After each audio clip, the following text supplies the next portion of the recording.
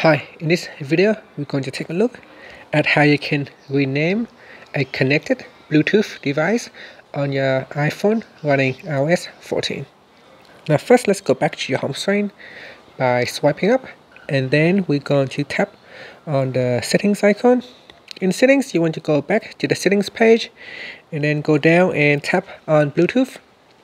In Bluetooth tap on the information icon next to your connected Bluetooth device and then tap on name and here you can erase the old name. So someone is trying to call me I'll just hang up on that person.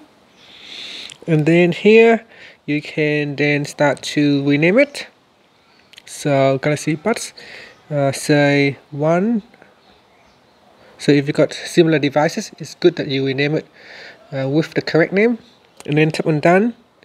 And that's it. Now you can tap on the back button to go back to your settings page or you can swipe up to go back to your home screen.